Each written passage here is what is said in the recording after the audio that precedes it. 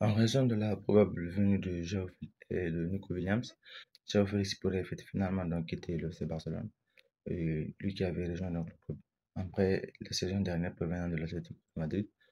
qui a réalisé une saison plutôt moyenne, va donc quitter le club à raison du prix qui a été fixé par l'Atlético Madrid, qui a un prix assez élevé pour l'FC Barcelone,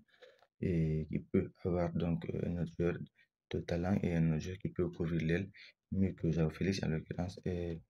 Nico, Nico, Nico, Williams, donc, actuellement, qui est actuellement donc la cible prioritaire du FC Barcelone, qui actuellement donc travaille parce qu'ils ont déjà eu l'accord de Nico pour, pour, rejoindre le FC Barcelone. Donc tout maintenant euh, se joue au niveau de, sa clause libératoire qui s'élève donc à 58 millions d'euros que le,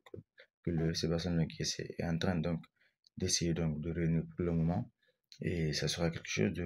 d'assez important parce que si ce jeune-là pas bien rejoindre le Barcelone, la Lamin je pense qu'il pourra en quelque sorte être constitué.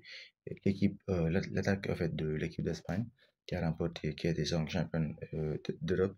et avec un autre attaquant plus talentueux qu'Alvaro Morata, à l'occurrence Lewandowski, je pense que ça va être une équipe assez formidable qui, qui, je pense,